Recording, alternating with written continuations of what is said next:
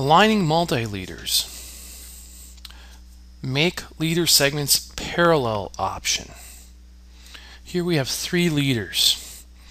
I'm going to go up into our annotate tab, into our leaders panel, and I'm going to go to the align, M leader align or the align. I'm going to select all three multi-leaders. I'm going to hit enter. I'm going to hit O on the command line for options.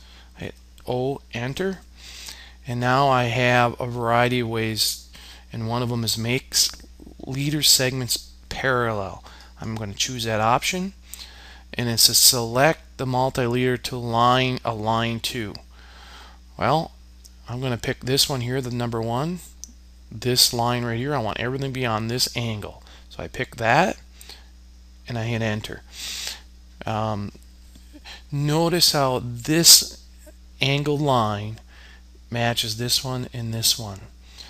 By ASME rules, we want to be between 15 and 75 degrees. Ideally, we want to be nearest 45 degrees. Um, and we want them usually to be the same so they look better, more uniform.